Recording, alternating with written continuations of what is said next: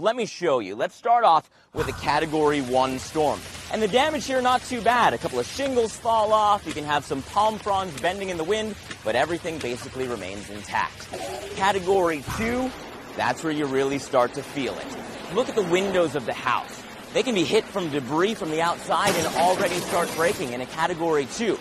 Your trees are significantly bent over in the wind, and the siding of the house itself can break, flapping there in the wind, adding to those eerie noises inside. Category 3. I've heard only a Category 3, but it's not only anything except really bad news. In a Category 3, you can have the door of the house blown in because the winds get so strong. You can have the roof of the house start to flap up and down in the wind because it can lift off those weak points. And a lot of those trees start to fall.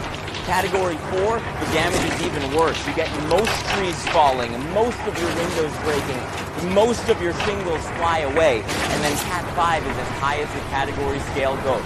By Cat 5, no shingles remain anywhere nearby. The holes in the roof get so big that the walls of the house start to fall because they're not attached to anything anymore. There won't be any trees up in the neighborhood. That's just catastrophic damage. But again, that's just from the wind. And there are other impacts from hurricanes, and they all vary through the season. So stick with the Weather Channel to keep you safe the tropics head towards your neck of the woods.